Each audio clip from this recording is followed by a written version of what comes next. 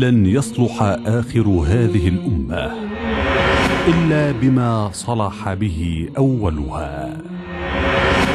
موقع أنا السلفي يقدم لكم هذه المادة. الحمد لله والصلاة والسلام على رسول الله وبعد. من كتاب عالم الملائكة الأبرار للدكتور عمر الأشقر رحمه الله تعالى. نواصل الحديث من المبحث الثالث في الكتاب وهو الملائكة والمؤمنون. وكما سبق فقد قسم رحمه الله تعالى الكتاب إلى أقسام. ملائكة والإنسان والملائكة وآدم أو قسم يعني الملائكة والإنسان ثم فصل الملائكة وآدم الملائكة وبنو آدم الملائكة والمؤمنون الملائكة والكفار. نحن في المبحث الثالث وهو الملائكة والمؤمنون. وسبق أن فيه مطالب وكلها يعني حول أعمال الملائكة تجاه المؤمنين. وذكرنا من هذه الأعمال عشر أعمال تقريبا. وقفنا عند النقطة الحادية عشرة من أعمال الملائكة تجاه المؤمنين. ونكرر أن هذا الكتاب وإن كان يتناول مسائل عقدية يعني أعمال الملائكة ونحو ذلك إلا أنها كذلك يعني أو التناول تناول كتب الرقائق.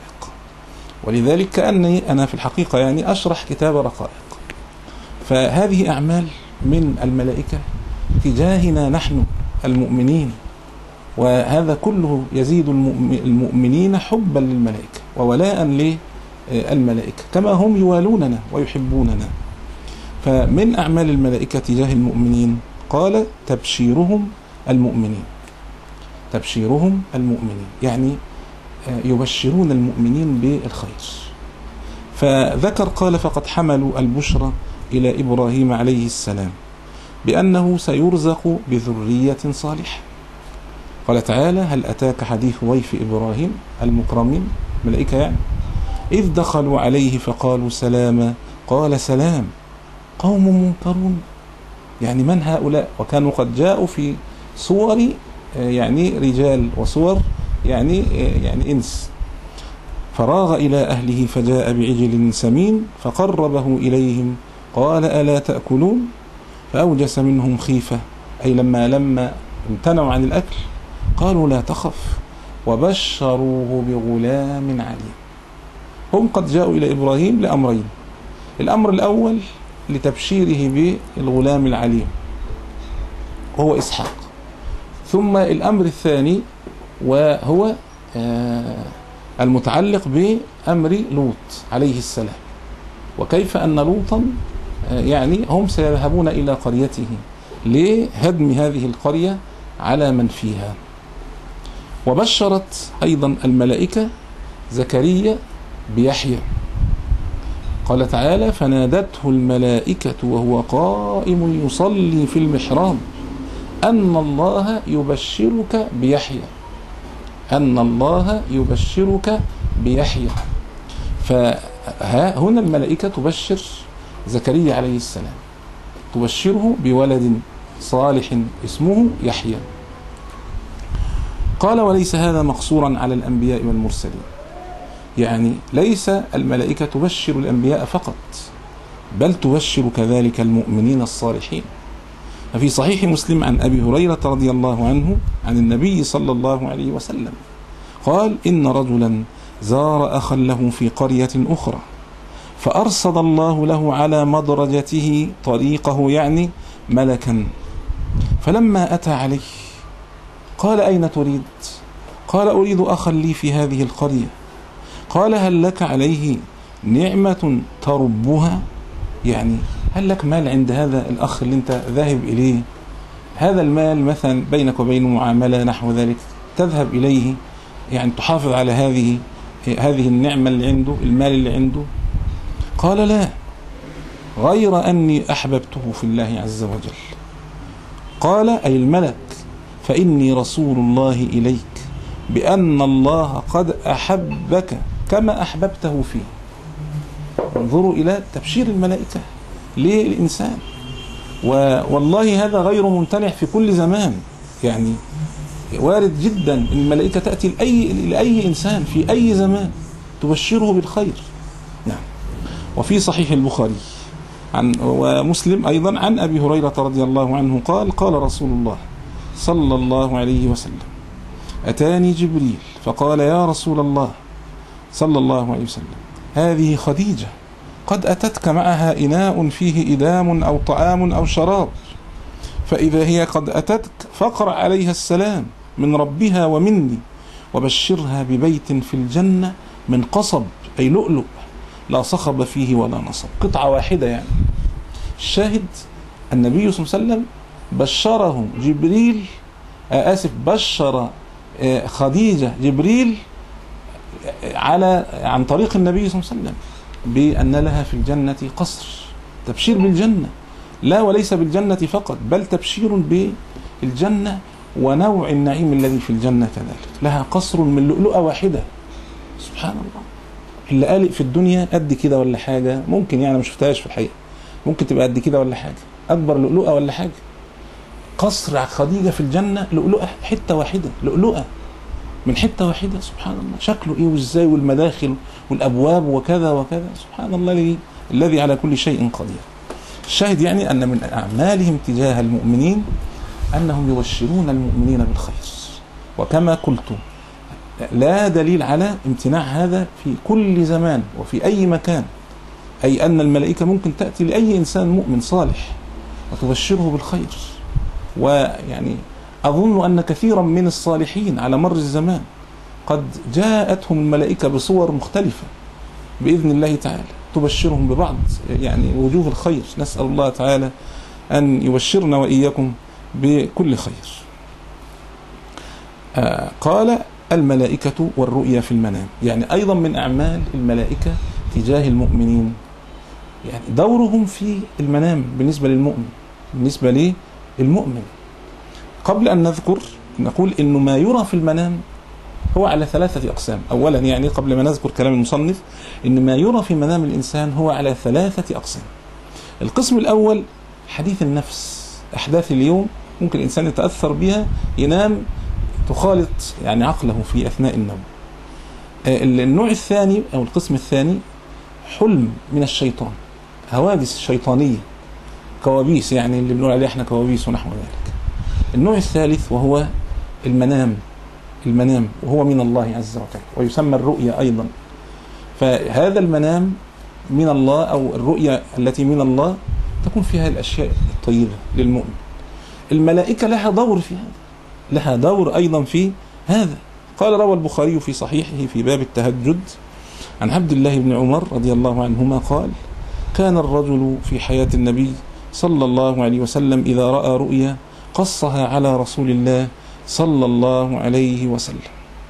كانوا الصحابة يفرحوا جدا لما حد يرى رؤيا يرى رؤيا يعني يشوف منام من الله عز وجل. فكان يفرحوا جدا ويذهبوا للنبي صلى الله عليه وسلم ليعرضوا عليه ذلك. قال فتمنيت أن أرى رؤيا فأقصها على رسول الله صلى الله عليه وسلم وكنت غلاما شابا. وكنت غلاما شابا. كنت شاب يعني لأن ابن عمر رضي الله عنه يعني لما لما النبي صلى الله عليه وسلم هاجر كان ابن عمر في يوم أحد أو يوم بدر آسف يوم بدر كان عنده 13 أو 14 سنة. يعني مات والنبي مات النبي صلى الله عليه وسلم وابن عمر حوالي 20 سنة. حوالي 20 سنة 22 سنة. قال وكنت غلاما شابا. وكنت أنام في المسجد على عهد رسول الله صلى الله عليه وسلم. كان متعبد جدا رضي الله عنه. قال فرأيت في النوم كأن ملكين أخذاني فذهبا بي إلى النار. قال فإذا هي مطوية كطي البئر وإذا لها قرنان كقرني البئر وإذا فيها أناس قد عرفتهم. والعياذ بالله من الكفار اللي هو كان بيشوفهم قبل كده. قال فجعلت أقول أعوذ بالله من النار أعوذ بالله من النار. قال ف قال فلقيهما ملك آخر. فقال لي يعني لقي الملكين اللي واخدين الناس دول فقال لي لم ترع. يعني ما تخافش الملك بيقول له لم ترع. يعني لا تخف. فهذا تبشير ان هو يشوف في المنام إنه شاف النار وبعدين يجي له ملك يقول له ما تخافش. هذه بشرى. وفي صحيح البخاري عن عائشة رضي الله عنها قالت قال لي رسول الله صلى الله عليه وسلم أريت أريتك في المنام يجيء بك الملك في سارقة من حرير. يقول للسيدة عائشة بعد ما تزوجها أنا شفتك في المنام قبل ما تزوجك وكان الملك يجي لي قطعة حرير وعليها صورتك. قال فقال لي هذه امرأتك. النبي صلى الله عليه وسلم عارفها. كان لأنه كان بيروح بيت أبو بكر وعارف عائشة. كان لسه مفيش حجاب وعارف عائشة. قال فيقول لي هذه امرأتك. قال فكشفت عن وجهك الثوب فإذا أنت هي. يعني وكأن السراقة من الحرير دي الملك مداري بها الصورة. فكشفها النبي صلى الله عليه وسلم. فرآها عائشة. فقلت إياك هذا من الله يمضيه. حاجة جميلة جدا تودد عالي جدا من النبي صلى الله عليه وسلم لزوجته. فيقول لها شفتي ده؟ أنا شفتك في المنام والملك جاي لي وجايب لي صورتك قبل ما تتزوجك. ففرحت وقلت إياك هذا من الله يمضيه. الشاهد يعني من الحديث ال- ال- الملائكة تأتي إلى المؤمنين في المنام وتأتي لهم بالخير. ابن عمر يأتي له الملك في المنام ويقول له لا تخف لا ترع. النبي صلى الله عليه وسلم يأتي الملك في جايب سورة السيدة عائشة قبل ما يتزوج يقول له هي دي هتبقى زوجتك. وهكذا. أيضا من أعمالهم قال يقاتلون مع المؤمنين ويثبتونهم في حروبهم. إن من أعمال الملائكة أنهم يقاتلون مع المؤمنين يدخلون الحروب مع المؤمنين ويثبتونهم في حروبهم يثبتون المؤمنين في حروبهم. قال وقد أمد الله المؤمنين بأعداد كثيرة من الملائكة في معركة بدر. قال تعالى إذ تستغيثون ربكم فاستجاب لكم أني ممدكم بألف من الملائكة مردفين. وقال تعالى ولقد نصركم الله ببدر وأنتم أذلة فاتقوا الله لعلكم تشكرون إذ تقول للمؤمنين ألن يكفيكم؟ أن يمدكم ربكم بثلاثة آلاف من الملائكة منزلين؟ بلى إن تصبروا وتتقوا ويأتوكم من فورهم هذا يمددكم ربكم بخمسة آلاف من الملائكة مسومين. ملائكة على أنواع وأشكال مختلفة. ملائكة لها مهام وألوان مختلفة. حربية مهام حربية. تنزل تقاتل مع المؤمنين. كما كان ذلك يوم بدر. معركة الإسلام الكبرى. ونزلت الملائكة وجعلوا يضربون وجوه الكفار. ونصر الله المؤمنين بالملائكة. وفي صحيح البخاري عن ابن عباس أن رسول الله صلى الله عليه وسلم قال في يوم بدر هذا جبريل آخذ برأس فرسه عليه أداة حرب. بيقول للمؤمنين بي بي بي بي بيصبرهم ويواسيهم. بيقول لهم يعني الملائكة معانا كمان هذا جبريل سيد الملائكة هذا جبريل آخذ برأس فرسه. جبريل في هيئة فارس قوي. نعم. عليه أداة حرب. نعم. وقد بين الله الحكمة والغاية من هذا الإمداد. لماذا يمد الله المؤمنين بالملائكة؟ ويثبت الله سبحانه وتعالى المؤمنين بالملائكة. قال وقد بين الله الحكمة والغاية من هذا الإمداد وتثبيت المؤمنين والمحاربة معهم وقتال أعداء الله وقتلهم بضرب أعناقهم وأيديهم. إن ربنا سبحانه وتعالى جعل غاية من هذا الإمداد وهي أن يثبت المؤمنين ما هو المؤمن لما يكون بيقاتل لوحده مثلا والعدو يقتل عليه فلما يجد إخوانه تكاتفوا واجتمعوا بيفرح جدا يقوموا يواجهوا العدو. فكيف إذا كان هذا هؤلاء ملائكة؟ هؤلاء ملائكة ما يقدر أحد على مواجهتهم. ولذلك كانت إذا نزلت الملائكة دب الرعب في قلوب الكفار. والعياذ بالله. قال تعالى وما جعله الله إلا بشرى. ولتطمئن به قلوبكم وما النصر إلا من عند الله إن الله عزيز حكيم. وقال إذ يوحي ربك إلى الملائكة أني معكم فثبتوا الذين آمنوا سألقي في قلوب الذين كفروا الرعب فاضربوا فوق الأعناق واضربوا منهم كل بنان. شوفوا نزول الملائكة. انظر. أول ما ينزل الملائكة الرعب يدب في قلوب الكفار. الله يلقي الرعب في قلوبهم. ثم إذا رأوا الملائكة وجدوا فرس فرسانا لا يعرفونهم. ولذلك كان بعض الاسرى من المشركين لما أسرهم المسلمون فجعل الرجل المسلم يقول للنبي صلى الله عليه وسلم هذا يا رسول الله أسيري أنا اسرته فجعل الرجل المشرك يقول لا ليس هذا هو الذي أسرني إنما أسرني رجل آخر ويصف الملك. فيقول النبي صلى الله عليه وسلم هذا ملك أيدك الله به الملك مسكه لك وأسره وكتفه وجابه لك لغايه عندك كمان. وقال في سورة آل عمران وما جعله الله إلا بشرى لكم ولتطمئن قلوبكم به وما النصر إلا من عند الله العزيز الحكيم ليقطع طرفا من الذين كفروا أو يكبتهم فينقلبوا خائبين. قال وقد سمع أحد المقاتلين من المسلمين صوت ضربة ملك صوت ضربة ملك ضرب بها أحد الكفار وصوته وهو يزجر بفرسه يعني بعض المؤمنين كانوا من المسلمين في أثناء المعركة يسمع الصوت بس مش شايف هو فين صاحب الصوت. الملك بيضرب حد من الكفار.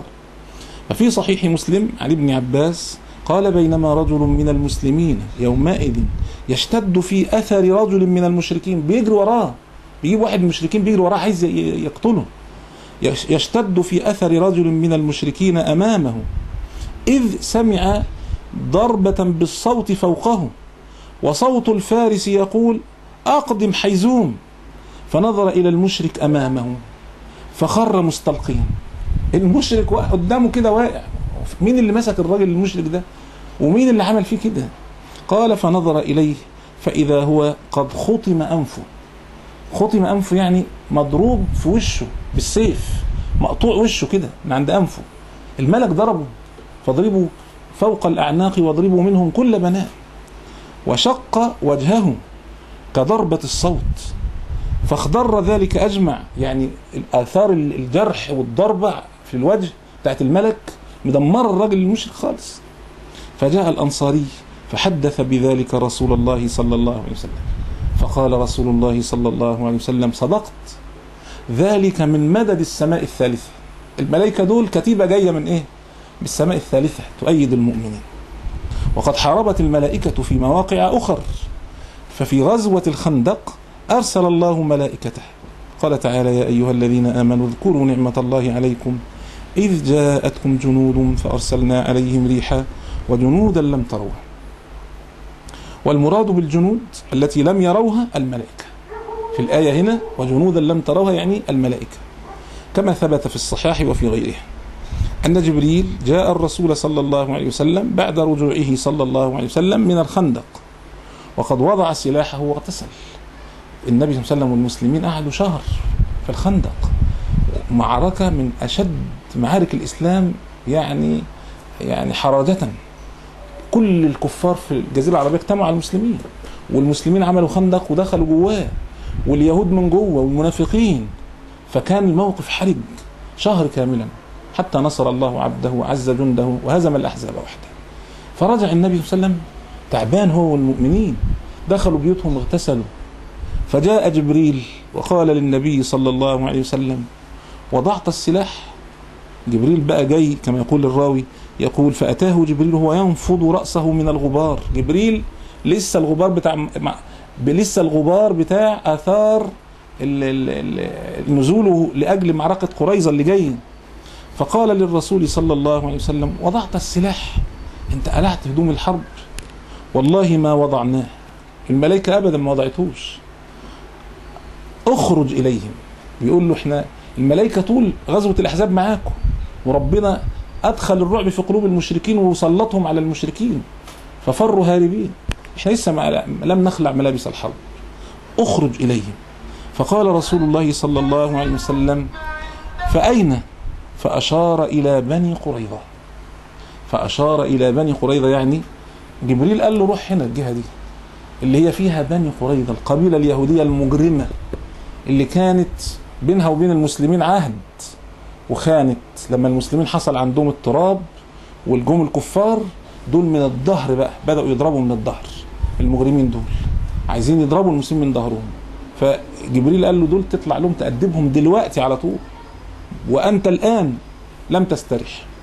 الشاهد يعني أن الملائكة بتقاتل مع المسلمين وفي صحيح البخاري عن أنس رضي الله عنه قال كأني أنظر إلى الغبار ساطعا في زقاق بني غن موكب جبريل حين سار رسول الله صلى الله عليه وسلم إلى بني قريظة. كتيبة جاية وماشية جوه المدينة والمسلمين شايفينها.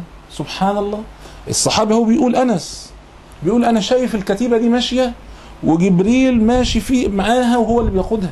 لكن طبعا كما سبق تقريره كمسألة عقدية أن الهيئة الملائكية ما رآها أحد غير النبي صلى الله عليه وسلم في المرتين التي اللتين رأى فيهما جبريل. أما يعني الهيئة التي يتشكلون عليها هيئة إنسان أو نحو ذلك يراها المسلمون كما في هذه الصورة.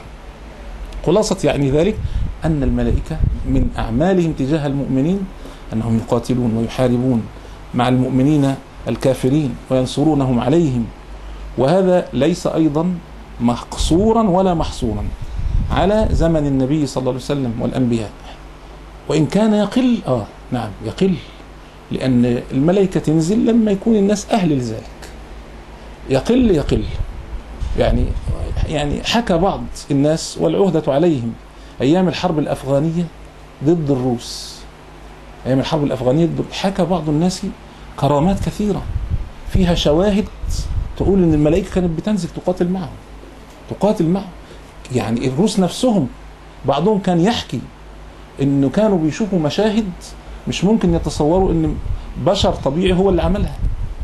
وكان طيارات بتتحرق وأسلحة بتتحرق عندهم وبتدمر وهم لا يدرون سببها.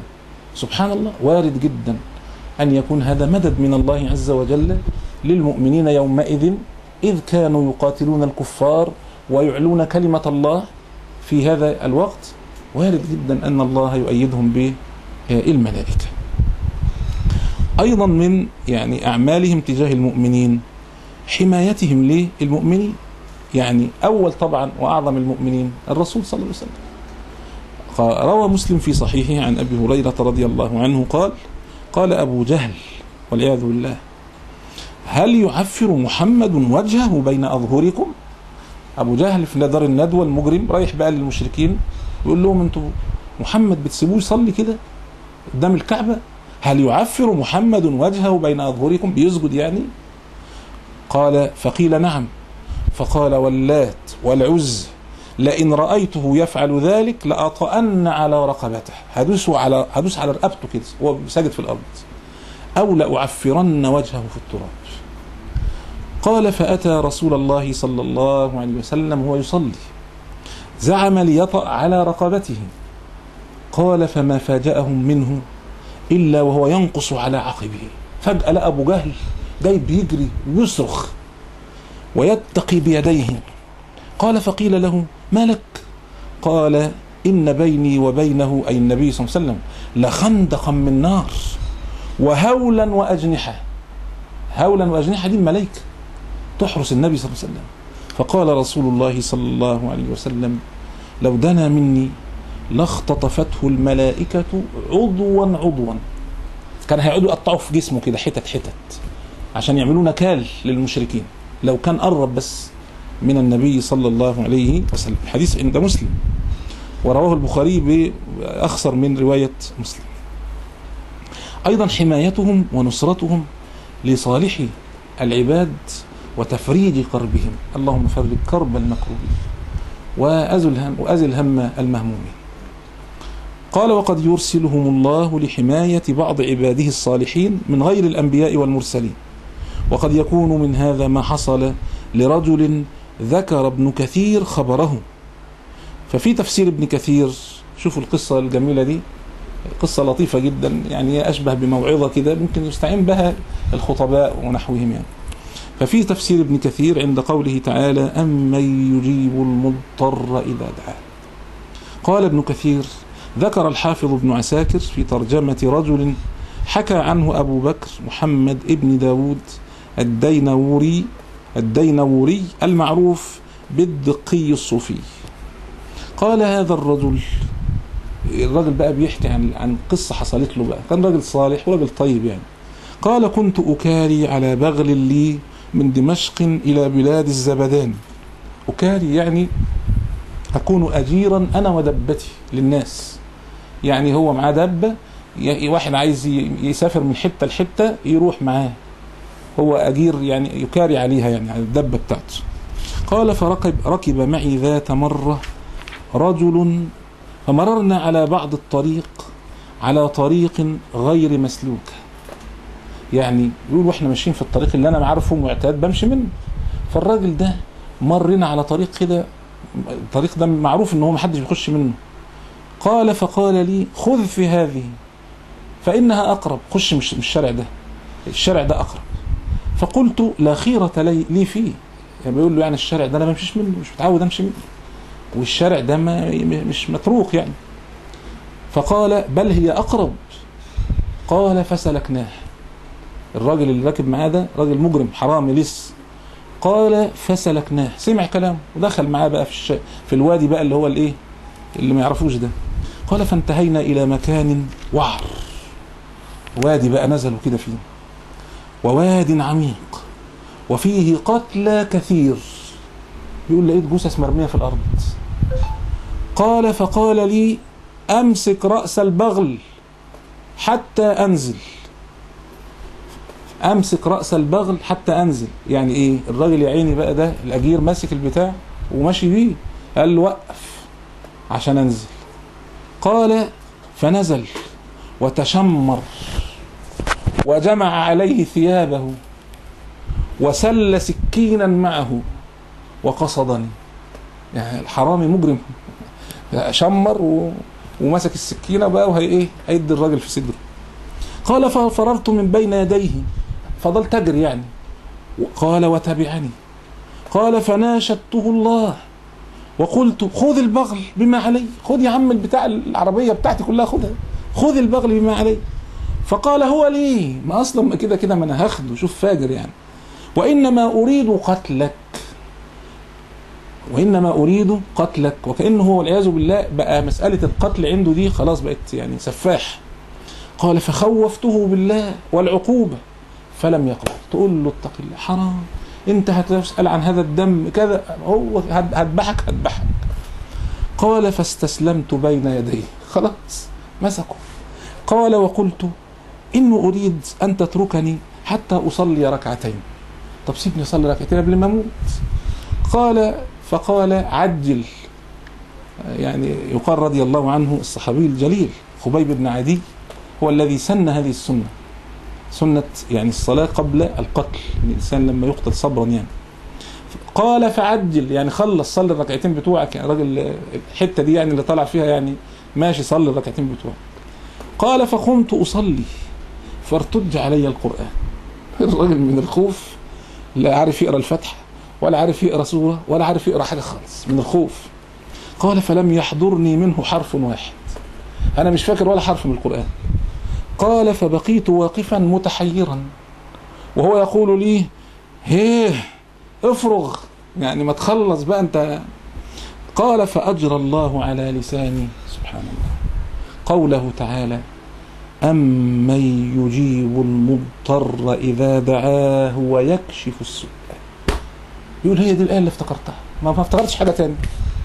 قال فإذا أنا بفارس قد أقبل من فم الوادي وبيده حربة فجأة لقيت فارس جاي من بعيد وجاي وفي إيده حربة حربة بقى مش سكينة زي اللي في إيد التاني. قال فرمى بها الرجل. قال فما أخطأت فؤاده. فخر صريعا. قال فتعلقت بالفارس وقلت بالله عليك من أنت؟ فقال أنا رسول الذي يجيب المضطر إذا دعاه.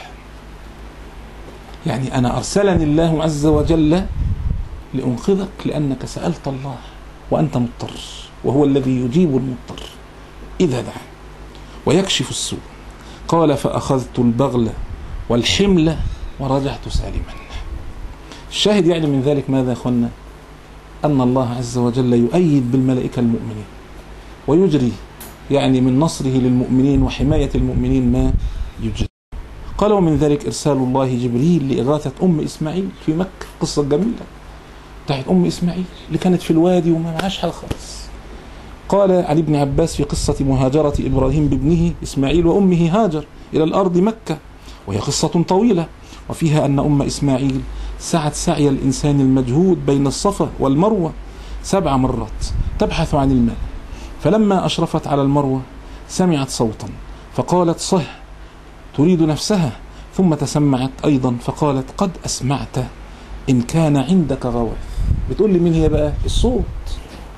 هذا الصوت صوت من؟ صوت الملك جبريل. فإذا هي بالملك عند موضع زمزم.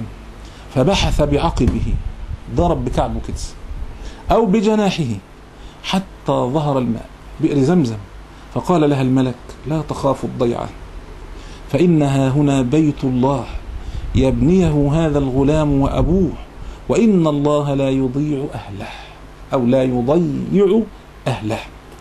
فهذا الملك الذي جاءها هو جبريل كما في رواية المسند عند أحمد يعني إن جبريل لما ركض زمزم بعقبه جعلت أم إسماعيل تجمع البطحاء تصريح أنه هو جبريل يعني. فالشاهد أن الملائكة تأتي وتشارك المؤمنين في إعانتهم في حروبهم في قتالهم ضد الكفار وغير ذلك مما هو من أعمال الملائكة تجاه المؤمنين محبة وموالاة. فاللهم إنا نسألك أن تجعل الملائكة لنا أولياء. وكن لنا أنت وليا واجعلنا من أوليائك. وتولى وتولنا في من توليت. وعافنا في من عافيت. اللهم إنا نسألك أن تغفر لنا ذنوبنا وإسرافنا في أمرنا وأن تكفر عنا سيئاتنا وأن تغفر لآبائنا وأمهاتنا ومشايخنا وعلمائنا وإخواننا وسائر المسلمين. والحمد لله رب العالمين. قل هذه سبيلي أدعو إلى الله. على بصيرة أنا ومن اتبعني وسبحان الله وما أنا من المشركين.